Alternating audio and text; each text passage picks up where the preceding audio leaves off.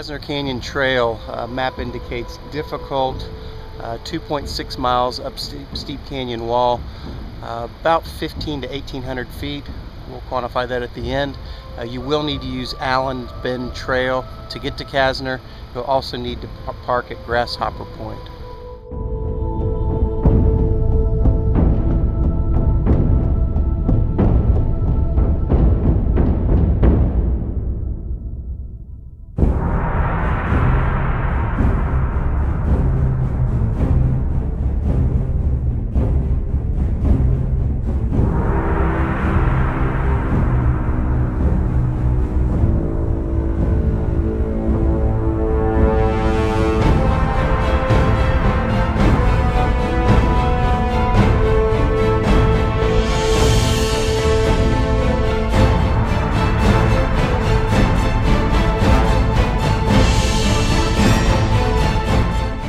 Casner Canyon Trail, not um, not for the faint of heart. Uh, this is a difficult trail. We covered 23 feet elevation in 3.39 miles, but a beautiful trail.